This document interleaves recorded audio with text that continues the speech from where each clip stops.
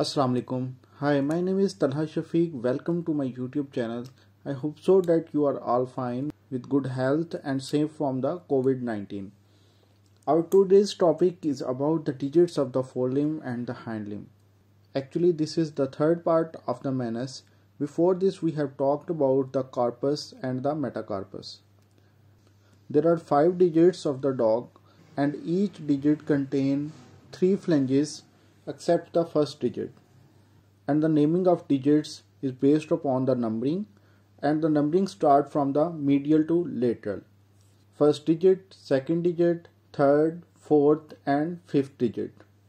While each digit contain three phalanges, and the naming of the phalanges is based upon uh, the location in the body, and these three phalanges are first phalange, second phalange, and third phalange. First phalange is proximal to the body, that's why it is also called proximal phalanx.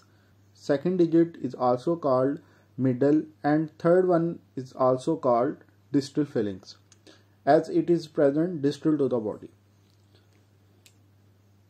As we have talked about, all digits contain three phalanges, while the first digit is only digit which contain two phalanges. This digit is also called pollex or dewclaw.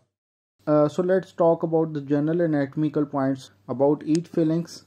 Uh, so the first phalanges of main digits that are second, third, fourth and fifth. Uh, it is basically four-sided shaft which are slightly curved and long.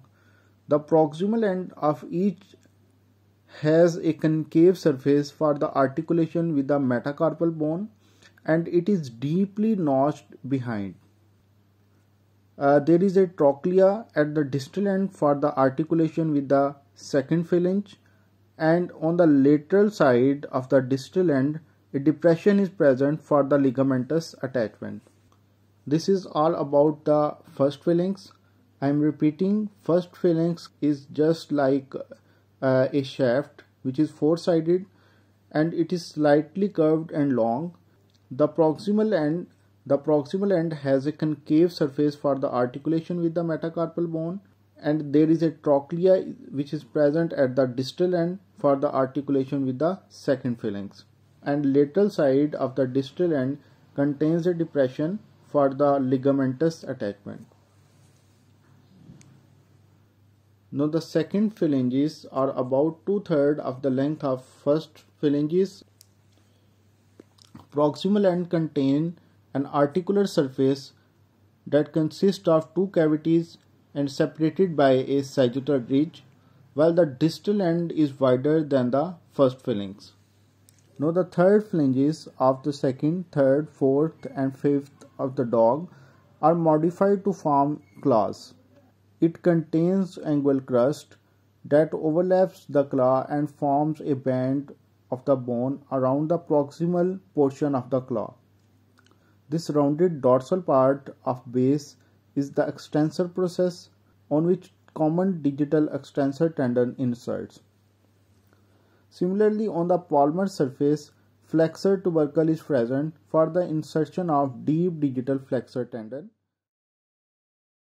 The claw which is curved extension of the third phalanx it is basically called ungual process.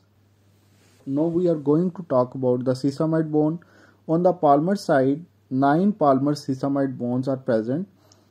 Two are found at each metacarpophalangeal joint of the chief digits, while on the first digit there is usually single flattened sesamoid bone is present.